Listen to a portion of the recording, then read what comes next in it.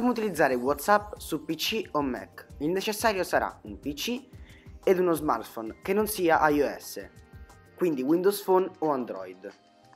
Per ora il browser compatibile è soltanto Chrome. Andate su WhatsApp e aprite questo menu tramite il pulsante Option o quello che avete sul vostro smartphone. Poi andate sull'opzione WhatsApp Web.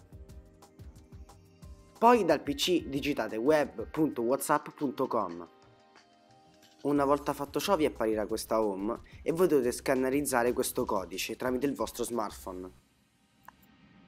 Avvicinate lo smartphone al codice QR e vi apparirà questo. Potete utilizzare WhatsApp comodamente con la tastiera del vostro PC. Bene ragazzi, per questo video è tutto, vi invito a lasciare un like al video e iscrivervi al canale.